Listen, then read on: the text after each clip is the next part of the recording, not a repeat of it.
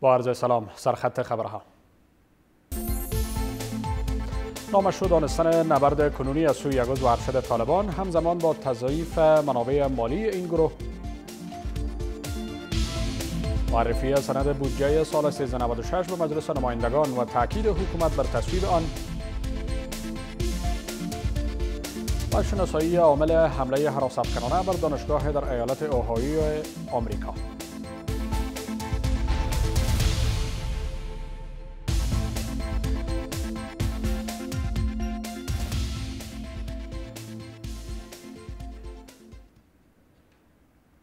با پیشکش این مجموعه خبری از تلویزیون جهانی خورشید با شما خواهیم بود. چهارشنبه امروز نهم قوس 1395 هجری خورشیدی است که برابر می شود با 30 نوامبر سال 2016 میلادی. مشروع خبرها طالبان پس از افزایش تلفات افراد ملکی در کشور از سوی پشتیبانانشان کمک های مالی هنگفت دریافت نمی کنند یک شده این گروه به روزنامه گاردین گفته است که در حالی که این گروه پیشرفت های در میدان نبرد داشتند اما اکنون پشتیبانی مالیشان را نسبت به سالهای گذشته به گونه چشمگیر از دست دادند. در این حال سفیر افغانستان در اسلام آباد می‌گوید حکومت وحدت ملی دیدارهای پنهان و آشکار با طالبان داشته است تا به نبرد کنونی پایان داده شود.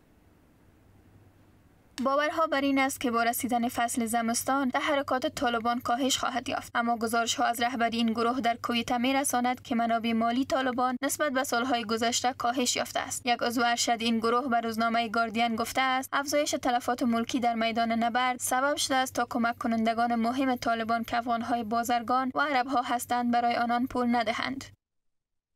افزایش تلفات افراد ملکی در میدان نبرد سبب شده است تا تمویل کنندگان طالبان از کمک های مالی بیشتر به این گروه خودداری کنند. در همین حال افزایش تنش های درونی این گروه عامل دیگر است تا کمک های مالی برای جنگجویان طالب کاهش یابد. نبرد کنونی طالبان که از اشغال و تجاوز بیرونی ها مشروعیت گرفته بود حالا به نبرد نامشروع مبدل شده است که قربانیان افغان ها هستند.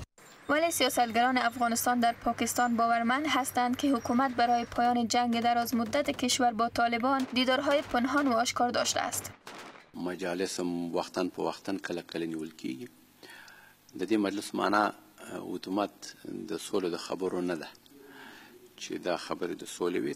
آقای زاخلوال می‌گوید با اینکه نقش اسلام آباد در روند گفتگوهای صلح مهم است اما تصمیم نهایی را باید پاکستانی ها بگیرند که آیا طالبان را به میز گفتگوهای صلح میکشانند و یا هم از آنان پشتیبانی می‌کنند. پاکستان څخه مو غوښتي دي علني غوښتي دي او غوښتي دي. مګر دا تصمیم مونږ نیولی د پاکستان لپاره چې آیا د سولې په برخه کې یو مخکښ رول ولري که ونلري هغه تصمیم خپله د پاکستان دی.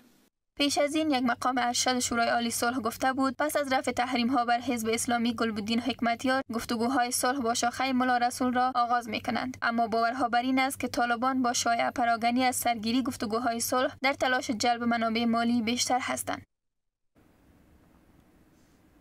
بودجه سال 1396 هجری خورشیدی پس از بررسی مجلس سنا امروز به مجلس نمایندگان معرفی شد.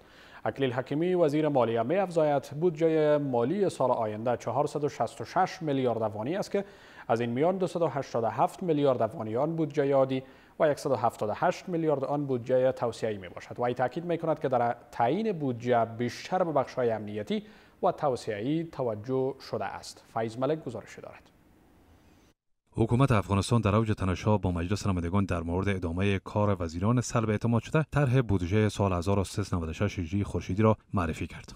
امیدوار هستم شما وکلای معظم ملت طرح بودجه سال مالی 1396 را که در آن منافع ملی توازن معصریت و شفافیت در نظر گرفته شده طبق قانون اساسی کشور مورد تصویب قرار بدهید. طرح بودجه سال آینده در حال به مجلس نمایندگان فرستاده می شود که وزیر مالیه این طرح را متوازن و بر بنیاد اولویت های شهروندان کشور می داند.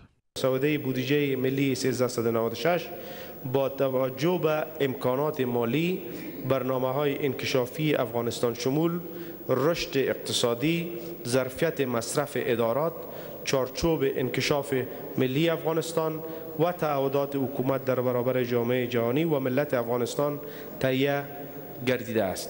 وی تاکید می کند که بودجه سال آینده نسبت به سال پار 22 درصد بیشتر شده است و پس از این نهادهایی که نتوانند بودجه تعیین شدهشان را به مصرف برسانند با آنان برخورد قانونی خواهد شد.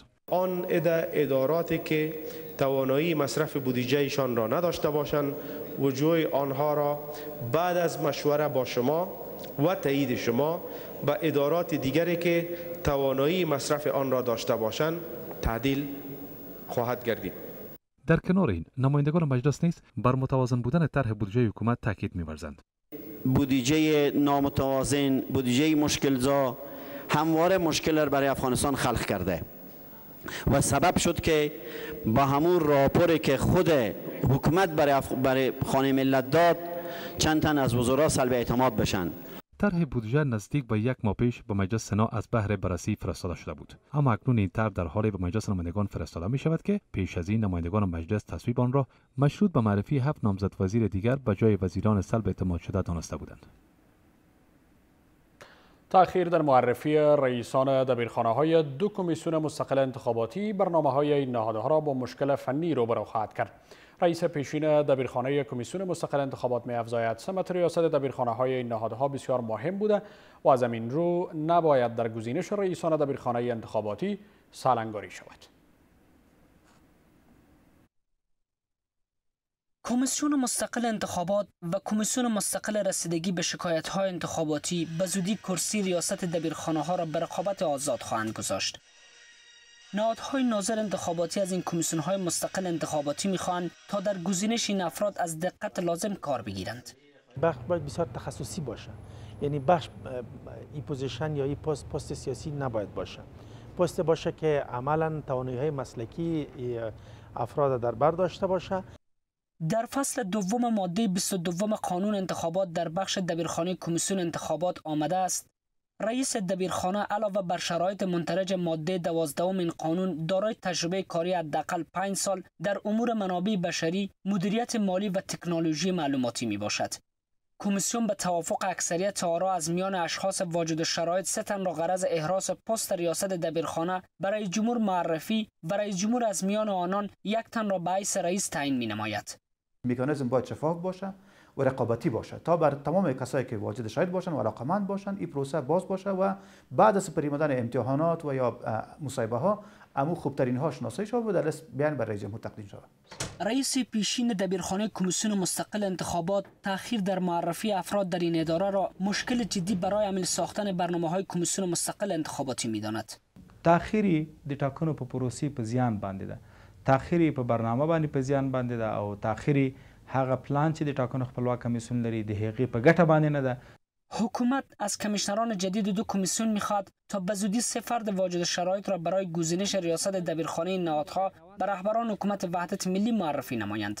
ما امیدوار هستیم که کمیشنران جدید با توجه به مسئولیت و رسالت سنگینی که عهدهدار شدن هرچه زودتر افراد واجد شرایط را به عنوان نامزدان دارالانشای کمیسیون مستقل انتخابات و دارالانشای شکایات انتخاباتی به رهبران حکومت معرفی کنه. با این همه دبیران کمیسیون های مستقل انتخاباتی گفته بودند برای گزینش افراد شایسته به ریاست دبیرخانه های کمیسیون انتخابات و کمیسیون رسیدگی به شکایت های انتخاباتی این کرسی ها به رقابت گذاشته خواهند شد. آمریکا در نظر دارد که 53 چرخبال نو بلک هاک را به نیروهای هوایی افغانستان کمک نماید. وزارت دفاع ملی کشور با آنکه اظهار می دارد از نوعیت این چرخبال ها آگاهی ندارد اما تاکید می ورزد که هر گونه چرخبال یا جنگده که از سوی آمریکا به نیروهای هوایی افغان کمک شود گام به سوی خودبسندگی نیروهای هوایی کشور خواهد بود این نهاد افزود جامعه جهانی به ویژه آمریکا تا سال 2020 میلادی تمام نیازمندی های نیروهای هوایی افغان را مرفوع خواهد ساخت. احمد شکیب گزارش می‌دهد. واشنگتن تصمیم دارد که چرخبال های فرسوده روسی نیروهای هوایی افغانستان را با چرخبال های مجهز نوع بلک هاک امریکایی وزن نماید. موضوعی که از سوی سخنگوی وزارت دفاع امریکا بیان شده و وزارت دفاع ملی نیز در مورد آن این گونه نظر دارد. کشورهای بین المللی مشکلات قوای هوایی ما را در کردن ما بر از نیازمندی های خود را ارائه کردیم. یکی اونا با ما تعهد سپردن که در سال 2017 2018 تا 2020 نیازمندی های نیروهای هوایی ما را مرفوع بسازند. سپردن چرخبال های بلک هاک به نیروهای هوایی کشور گام به سوی خود بسندگی و افزایش توانایی این نیروها در میدان های نبرد دانسته می شود قبل از اینکه تیارات در اختیار ما قرار داده شود های افغانی ما در کشورهایی که قبلا بر شما نام گرفتم در اونجا تعلیم می‌بینن آماده میشن مسلکی میشن. باز بعد از او تیارات برای ما سپرده و این تیاراتی هم که کمک میشه روی هم رفته موثریت خود را داره. اما بیشترینه در افغانستان باید کمک هایی که صورت می‌گیره کمک افز مراقبت یا ترمیمش هم باید در نظر گرفته شود اما یکی از نیازهای جدی نیروهای هوایی کشور کمبود جنگنده ها پنداشته شده و خواستها این است که برای رسیدگی به این موضوع توجه جدی شود. ما باید صد سال آینده خود بسنجیم. با اگر این دوستای خارجی نباشن در افغانستان افغانستان اینجا به تنهایی بانه. باید قوت های خود را به شکل به عیار مجاهد بسازه که بتانه از مشکلات های مقابل دیگه که با او مواجه میشن از دفاع کرده بتانه. چرخبال های بلک هاک نظر به موقعیت جغرافیایی افغانستان قابلیت خوب عملیاتی را دارا بوده و این 53 چرخبال جاگزین نزدیک به 50 چرخبال میهفته روسی خواهد شد. با این همه درخواست 814 میلیون دلاری وزارت دفاع امریکا مشمول خریداری چرخبال های جنگی، فراهم آوری سی چرخبال MD530 و 6 چرخبال A29 است. چگونگی جان باختن محی الدین غوری پرسش برانگیز است و حکومت باید چگونگی سانحه هوایی ولایت غور را بررسی نماید. اعضای مجلس نمایندگان می افزایند جان باختن فرمانده قل اردوی 207 زفر در وضعیت کنونی بر چگونگی امنیت غرب کشور اثر زیاد دارد. الدین غوری فرمانده قل اردوی 207 زفر دیروز از اثر سانحه هوایی در منطقه موریچاق ولسوالی بالامرغاب بادغیس جان باخت رویدادی که پرسش های زیادی را برانگیخته است. نفوذ دشمن رویش سوال است که میگه در اینجا دشمن نفوذ کرده بود. بحث دیگه ای است که تیل خلاص کرده بود. ببینین وقتی تیل خلاص بکنه یک هلیکوپتر بر از یک جای به جای دیگه چرا توجه نشود؟ چگونگی این سانه هوایی باید پیگیری شود که چگونه اتفاق افتاد؟ آیا دست در, در کار بود یا خیر؟ ماهدین غوری از جنرالان دو ستاره ارتش در زون غرب به فرمانده طالبکش معروف بود. بانک افغانان امسال در غرب کشور تلاش های زیادی برای تسخیر این جغرافی انجام دادن اما برنامه ریزی های او جلو این تحرکات را گرفته بود. و به دشمنای از وطن یک پیام دارم جناب لویس که زون غرب به گورستان از اونا تبدیل خواهد کردیم. وزارت دفاع ملی جان باختن آقای غوری را سانحه هوایی می‌داند که از اثر مشکلات فنی در چرخبال اتفاق افتاده بود. عوارض تکنیکی را هیچ کس نمی‌تونه که بگوید که باید صورت نگیره. این تضمین وجود نداره. او عوارض تکنیکی است. و در طور یک جای از بین نرفته که اونجا یا قریه بوده یا قشلاق بوده در اونجا میدانچه نظامی بوده که در اونجا تیاره می نشید جنرال محیدین غوری نزدیک ساعت چهار پس از چاشت دیروز در منطقه موریچاق ولسوالی بالامرغاب ولایت بادغیس انگام از اثر سانحه هوایی جان که برای بررسی وضعیت با رئیس امنیت و مقامهای ولایت بادغیس به آنجا رفته بود. سی درصد از کودکان مبتلا به بیماری سوراخ قلب در وضعیت بدی به سر می‌برند. مسئولان ریاست هلال احمر افغانی می افزایند 6 هزار کودک به بیماری سوراخ قلب در کشور مبتلا که از این میان سی درصد آنان نیازمند درمان فوری هستند این نهاد از حکومت و مردم خواستار کمک در این زمینه است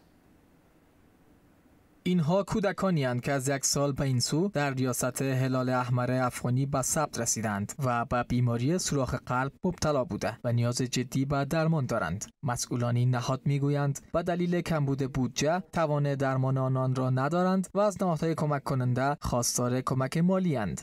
6000 طفلی که من مطمئن هستم فامیلش یک هزار افغانی نداره که از ولایت تا اینجا بیاردش و آوردش تاله کسانی که پول دارن هیچ وقت پیش ما نمیان راجستر شوند. کسایی که پول دارن مستقیم میرن به شفاخانه طفلشان تداوی میشه. این بیماران می‌گویند اگر به زودی درمان نشوند جانشان را از دست خواهند داد و از سرمایه‌داران کشور خواستار توجه جدی در این زمینند. خواست ما ای است که ما دمیجه تداوی شیم و در خارج که است باز اونجا یک ذره دما مشکل تمام میشه و نمیتونیم اونجا تقریبا شپږ میاشتې مخکې ما څه نام کړی وو ما ټول درې میاشتې وخت درې میاشتې بعد موږ رنګ درته نو هغه ما ته رنګ نه بیا زه پسې رالم مسئولان هلال احمر افغانی اضافه می کنند که در 8 سال گذشته 5000 کودک را که به بیماری سوراخ قلب گرفتار بودند درمان کردند اما امسال با کمبود بودجه روبروند و مطمئن نیستند که بتوانند جان این کودکان را نجات دهند. ادامه خبرها را بعد از وقفه کوتاه دنبال کنید.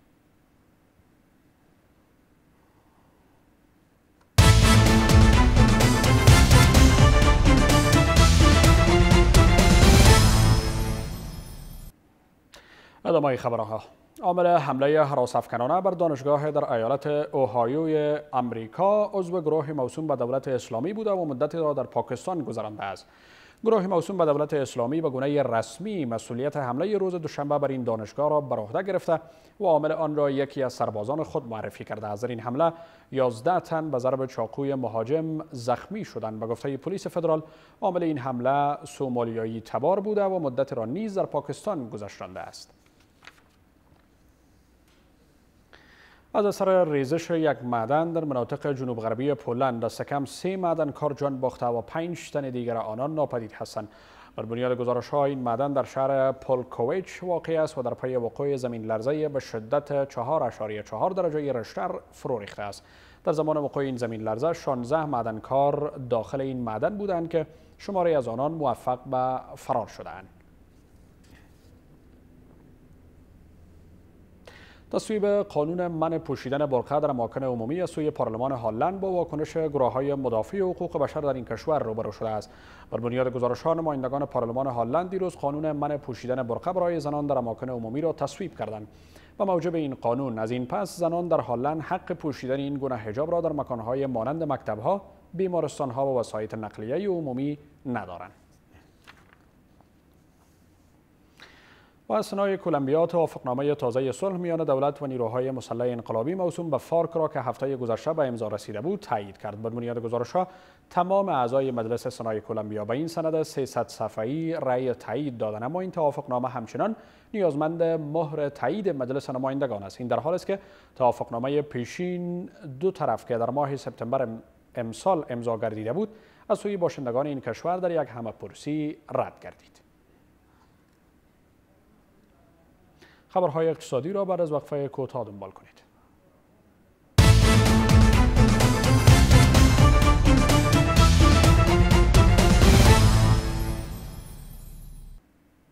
حکومت افغانستان بر کالاهای بازرگانی پاکستانی مالیات را چندین برابر افزایش شده است. معاون ارشد اتاق تجارت و صنایع مشترک افغانستان پاکستان در اسلام آباد می‌گوید مالیات را که حکومت افغانستان بر کالاهای بازرگانی پاکستان وضع کرده بسیار سنگین است که در صورت بی‌توجهی حکومت روابط بازرگانی میان دو کشور با رکود روبرو خواهد شد.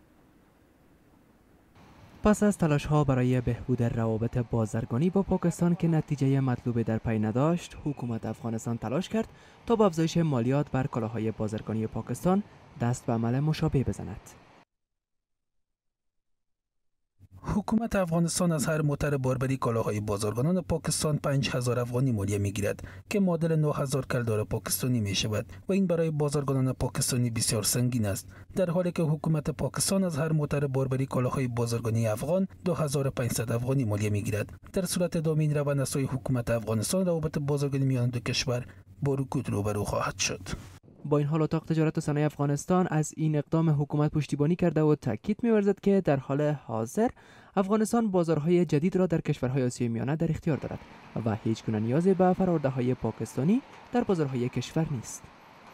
جای شک نیست که ما اجناس پاکستانی ارزان تمام میشه مگر از لحاظ کیفیت اگر ببینیم باز در باز جایا اموال پاکستانی از کیفیت پایین برخوردار هستند هر کشور که سهولت بیشتر در برابر تجارت و ترانزیت ما با وجود بیاره بدون شک بخش خصوصی ما از او کشور بیشتر تلاش می‌کنن که کالاها را وارد افغانستان کنیم و از افغانستان به او کشور صادر بکنیم هرچند به تازگی حکومت افغانستان در این مورد ابراز نظر نکرده است اما دو ماه پیش حکومت پس از آن بر بیشتر از قلم اموال بازرگانی پاکستان که به افغانستان وارد می‌شد مالیات را افزایش داد که بیشتر کارخانه های تولیدی این اقلام را در افغانستان تولید کردند.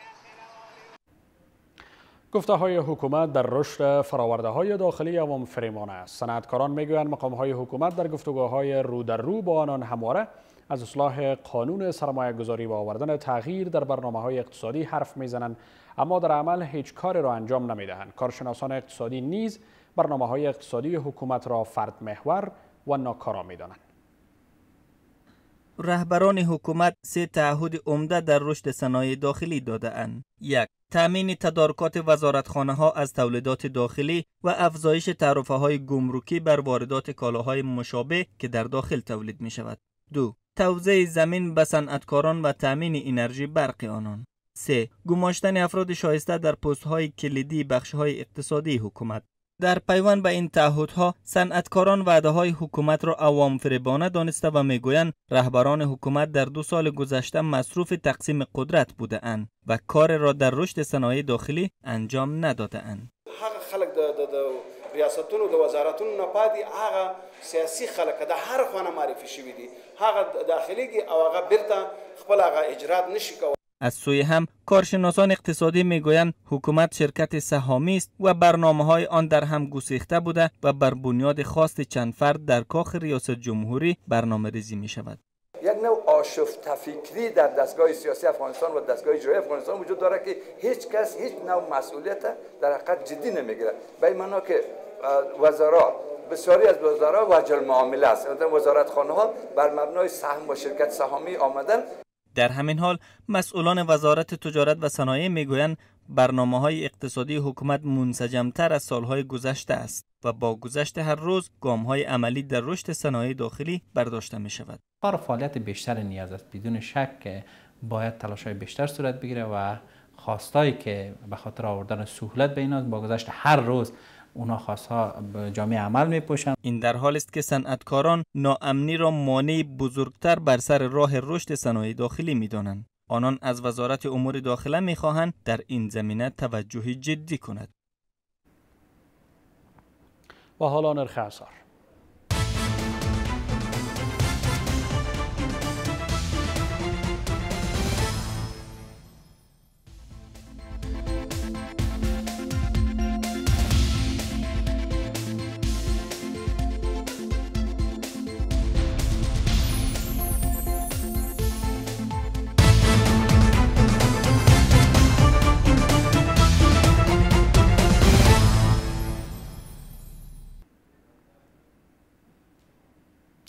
حالا خبرهای ورزشی رقابت‌های والیبال با شعار محو خشونت علیه بانوان صبح امروز در کابل پیگیری شد گزارش از همکارم این رقابت ها از سوی برنامه توسعه سازمان ملل متحد و همکاری جمعیت هلال احمر افغانی راه اندازی شده است که در ادامه این رقابت ها تیم جمعیت هلال احمر موفق به شکست الزهرا شد و تیم سول نیز در برابر شهرداری به پیروزی رسید. بسیار پرشور داشتند این روز مسئولین آمده بودند و جوانایی که آمده بودند این روز تشویق شدن و دیدن که ما بسیار تیم قوی داریم از بانوان که می‌تونه به سطح ملی رقابت ها را برگزاری کنند. بسیار تشکری خاص می‌کنیم از خود UNDP که تانست همچون تورنمنت اینا میزبان شوند بانوان ورزشکار نیز از راه اندازی این رقابت ها با حضور تیم های برتر بانوان شهر کابل ابراز خرسندی می نمایند. برگزاری مسابقات تا امروز که روز دوم خیلی خوب بود. هنوز که امروز مسابقات سیم فاینال بین چهار تیم انشالله که گفتنی است این رقابت ها به هدف برجسته ساختن کارزار 16 روزه برای محو خشونت بر ضد بانوان فردا در مکان ورزشی دانشگاه کابل با برگزاری دیدار نهایی میان تیم های جمعیت هلال احمر افغانی و صلح به پایان می‌رسد. تیم عقاب قهرمان رقابت های لیگ علف فوتسال کابل شد. در دیدار نهایی این رقابت ها تیم آماده عقاب در برابر طوفان وزیرآباد قرار گرفت که این تیم با نتیجه چهار بر دو بر حریفش غلبه کرد و جام قهرمانی را بالای سر برد. گفتنی در پایان این رقابت ها تیم های اول و دوم لیگ علف فوتسال جواز حضور در رقابت های لیگ برتر کابل را به دست آوردند و در پایان هم در پای سقوط هواپیمای یک باشگاه فوتبال برزیلی در خاک کلمبیا 76 نفر کشته شدند. این هواپیما با 72 سرنشین و 9 خدمه از بولیا به سمت میدان هوایی شهر مدلین در حرکت بود که در نزدیکی میدان هوایی این شهر سقوط کرد. این هواپیمای بولیویایی حامل اعضای تیم فوتبال چاپه کوئنسه و 22 خبرنگار بود که 5 تن از سرنشینان آن از این حادثه جان سالم به در بردن. چگونگی وضعیت هوا.